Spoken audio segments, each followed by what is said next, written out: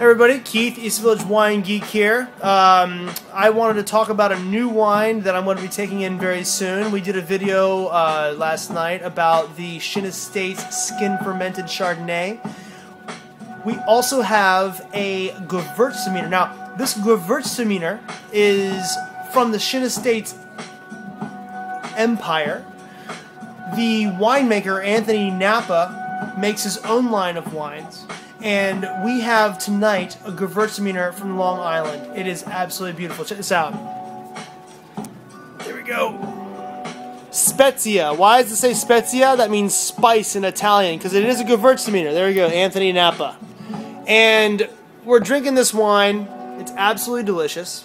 And I wanted to bring it into the city to kind of get an idea of what people thought about it.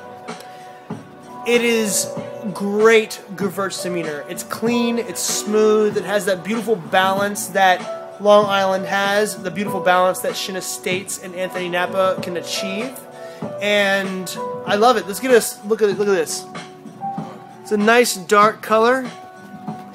It's got some really good taste notes. I'm gonna see what Andrew thinks. Andrew, what do you think of this wine? Really nice salinity, nice aromatics, musty, spicy pear. Excellent. Nice and dry. What'd you say? Nice and dry. Nice and dry.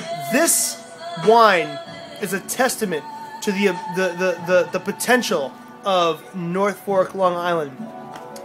David, Barbara, Anthony, Beckett, Panda, Cal, thank you very much. Everyone on Twitter is going to see this. Everyone needs to know about these wines. I'm bringing this stuff into my wine shop. Come to Alphabet City Wine Company. Try these wines. This is what Long Island's all about.